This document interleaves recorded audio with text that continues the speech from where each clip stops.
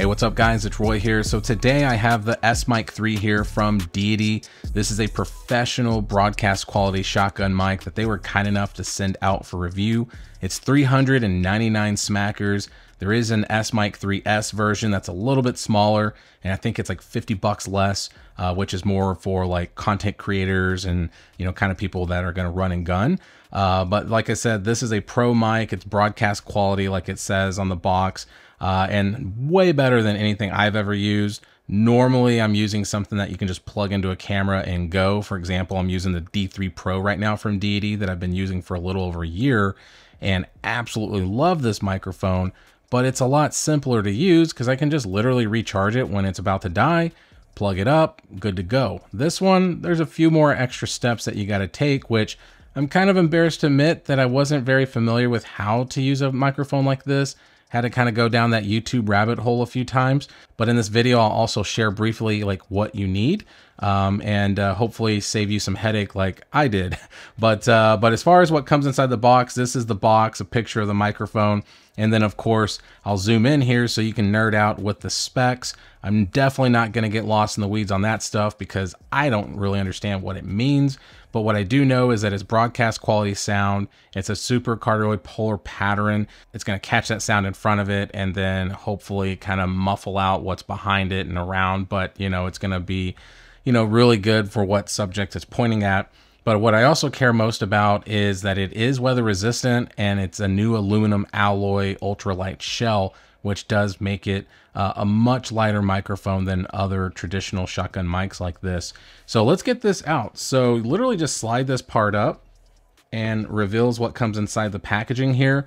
So we do get some Deity stickers and a service warranty thing here, which, you know, that's great if you like stickers.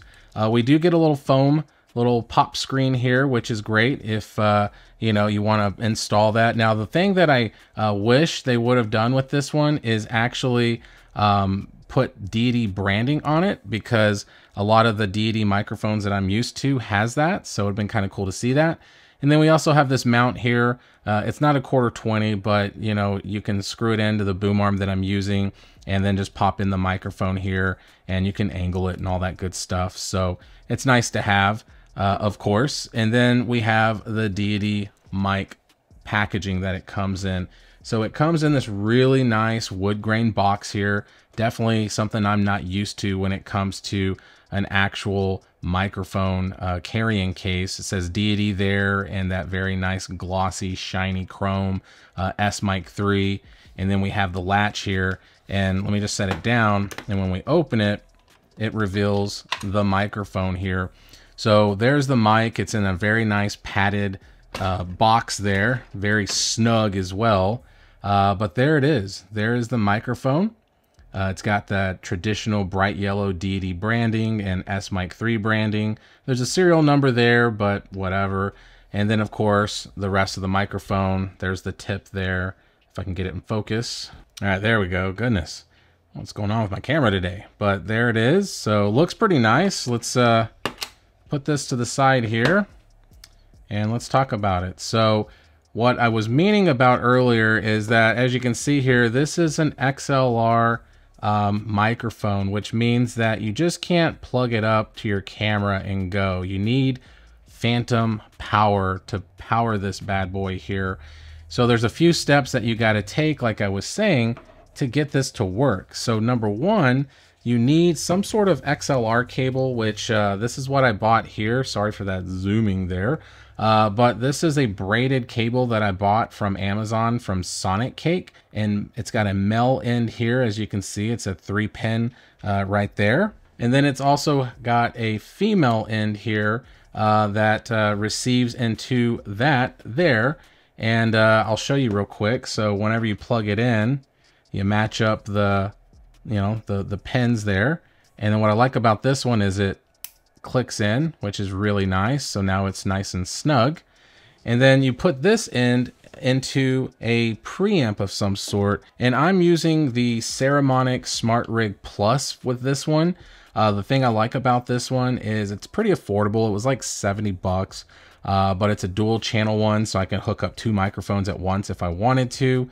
And I like that I can switch between phone and camera or phone and tablet or whatever. Uh, but when you turn it on, uh, you can turn it to the 48 volt for the phantom power. But I literally just plug this in here, just like so. And then I plug in the cable into the end of my uh, camera. Now it is a TRRS cable, but when you switch it over, it turns to TRS. Um, and then that's it. That's all you need. You don't need anything special, nothing fancy other than this. This works just fine. In the preamps, when I do hook this up, I'm going to have my Sony recording level on my A6700 down to one. And I'm going to use the preamp dial for the gain here to set it in to hit negative 12. So next, let's go and get this bad boy uh, hooked up. Uh, I'm going to go ahead and mount this on here just like so. So very uh, simple whenever you just click it in like that.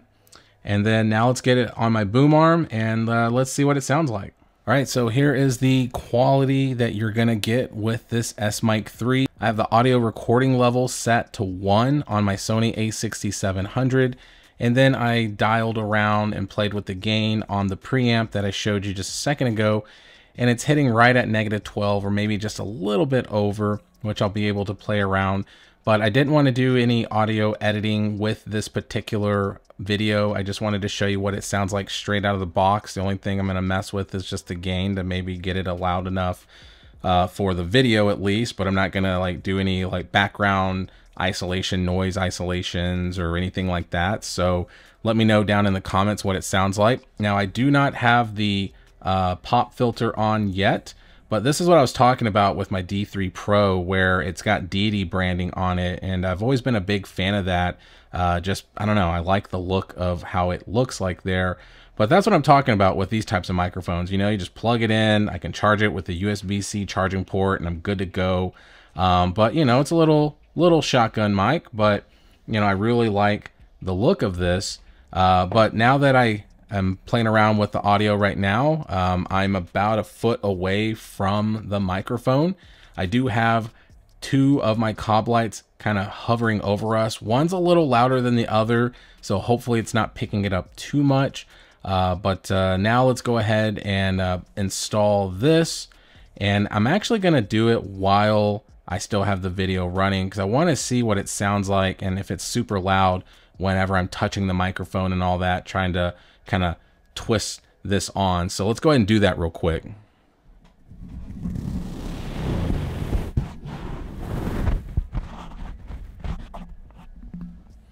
Okay, so now this is what it sounds like with the pop filter on. And let me know what you think. Does it sound good? Does it sound better? Um, I usually am a fan of the foam uh, little um, you know microphone covers on my microphones when I'm using them. Uh, I always have this one on, just helps a little bit with that background noise. So let me know if it's changed the sound at all um, when I'm using it like this. But like I said, I'm sitting literally about a foot away from the microphone. Uh, so let me know what it sounds like. Does it sound better than the D3 Pro? Does it sound the same? You let me know. I won't know until I'm editing it. But ultimately, guys, this is a pro mic that's going to do just fine and something that you're going to be able to rely on. But one thing I will point out, guys, is make sure you do a good preamp. I think the Saramonic Smart Rig Plus is a good one. I've watched a lot of videos that people highly recommend it, especially from YouTubers that I trust. But I just want to make sure I remind you because I've had friends who have bought preamps before in the past and uh, after I kind of started picking their brains the last few days, and they would say, you know, in the middle of a shoot or something, that it just stopped working. And then next thing you know, it half of the audio sounded good, and the other half had a real bad buzzing sound and, and just was unusable. So I just want to make sure I point that out to be careful with what you use. But so far, I'm not having any issues. But let me know if you hear any buzzing or anything like that as well. Um, but there you go. There's the Deity S Mic 3. Uh, if you're interested, I will definitely put some links down in the description if you're looking for a pro broadcast style microphone like this. Uh, but I gotta say, Deity comes in hot with the high qualityness of this microphone, especially with the presentation of this box here. So Big thanks to Deity once again. So hit that like button if you liked the video. If you loved it, please subscribe, ring that notification bell for up-to-date content. So be safe, God bless. We'll see you on the next one.